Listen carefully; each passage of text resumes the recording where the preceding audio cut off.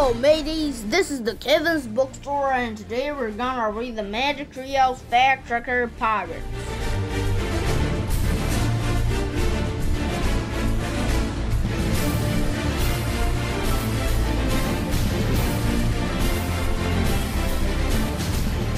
Chapter 7 Pirate Attack Pirates used many weapons when they attacked another ship.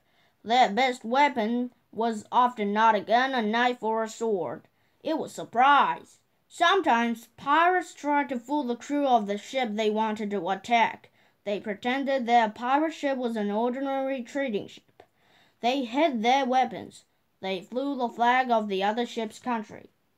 When their ship was next to the other ship, the pirates fired their cannons and raised their pirate flag.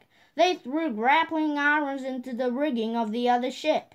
They pulled on the ropes attached to the grappling irons and drew the ships together. The pirates jumped onto the deck of the other ship. They screamed and yelled. They fired pistols. They waved, they waved swords and daggers. Pirates tried to be as scary as possible in an attack. They wanted their victims to surrender without a fight. Usually that's exactly what happened. Most sailors were paid very poorly. They were not willing to give their lives to defend their ship's treasure. Pirate weapons. When they did a fight, pirates used many different kinds of weapons. The cutlass was the favorite weapon of pirates during the Golden Age. A cutlass was a short sword with a wide, sharp blade.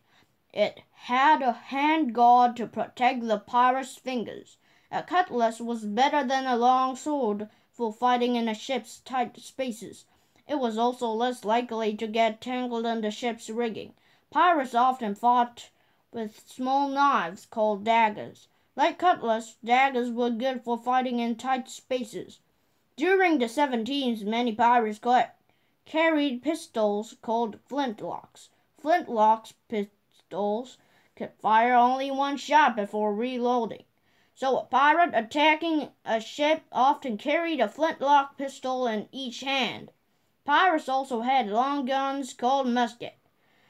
A musket's aim was more accurate than a flintlock pistol's. With a musket, a pirate could hit a target from 300 feet away.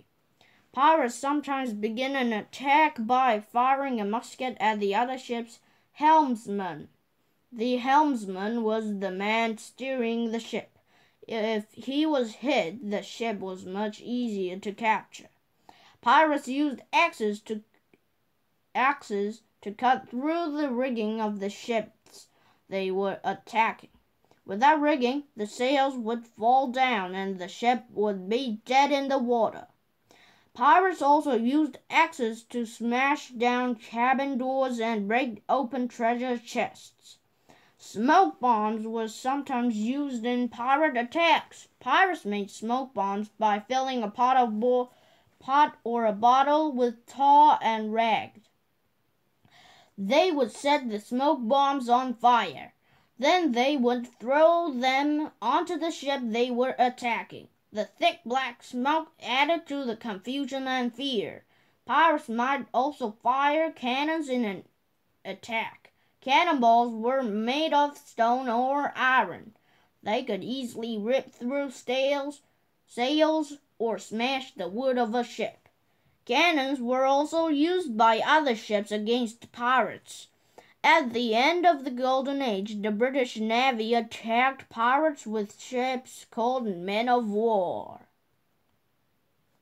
Men of war were huge. They could carry many more Janus then a pirate ship could carry. They hunted down the pirates in seas throughout the world. Pirate flag. Skeleton bones or swords on a flag stood for violence and death.